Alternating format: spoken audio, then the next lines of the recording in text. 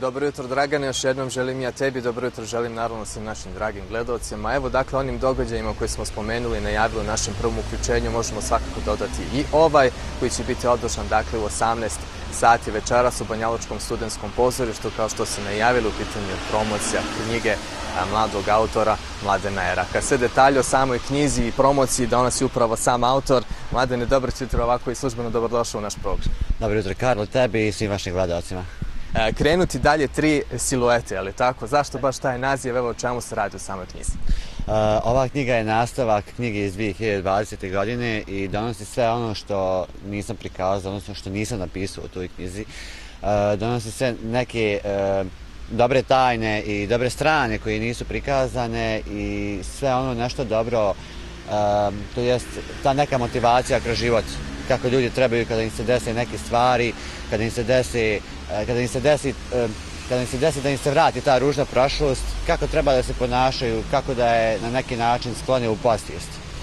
Koliko dugo se ti radio na samoj knjizi i evo, s obzirom da se u knjizi radi onako dosta o nekim teškim stvarima, koliko si ti evo, uopšte i na koji način se zapravo izborio sa svim tim? Bilo je jako teško, prije svega zato što sam napisao tri knjige, Uh, autobiografske i znate teško je eh, kada znate da će neko tu pročitati i ne znate kakvi će biti komentari, da li će biti ružni ili dobri, ali uopšte nisam mario, zato išao sam da izbacim to iz sebe i da na neki način pomognem i ljudima koji su prošli neki težak period u životu da se izbori sa tim nekim stvarima. Eh, na knjizi sam radio neka četiri mjeseca, to je neki najkraći period ikad, eh, dok sam na prvi dvije radio godinu, godinu i pol. E, tako da ja sam stvarno zadovoljan kako je ispalo, vjerujem da će se svidjeti ljudima koji budu čitali. Prve dvije knjige, na kakve reakcije se naišao od strane publike? Prve dvije knjige su prošle fantastično, ja nisam očekivao toliko podrške. Posledno za prvu knjigu ljudi su mi pisali, nevjerovatno. Bio sam pozitivno šokiran za svih tih stvari, stvarno nisam očekivao. Druga je prošla još bolje, tako da stvarno sve ovo svem super.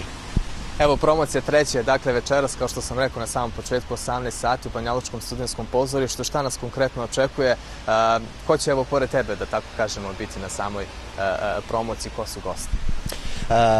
Gosti su, ne bih baš sve otkrivao, ali reći ćemo da je jedna naša baš poznata banjaločka glumica, da će biti specijalni gost.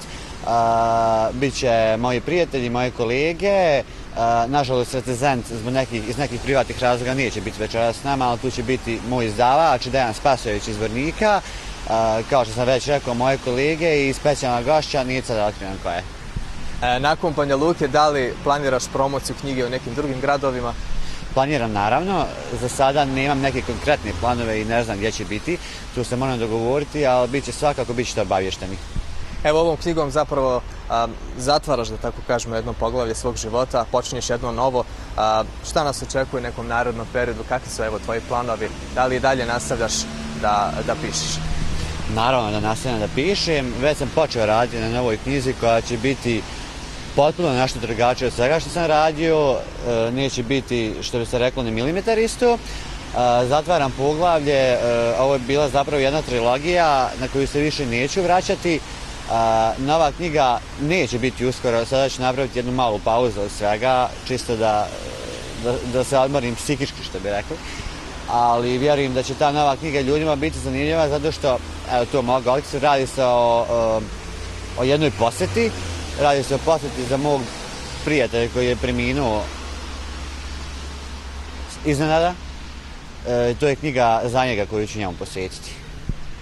Svaka čast, Mladene, samo što radiš. Evo, hvala ti mnogo na izvrnom vremenu, želim ti mnogo sreće u danjem radu. Naravno, družimo se i nekom, nekom drugom priliku. Hvala mnogo. Hvala puno.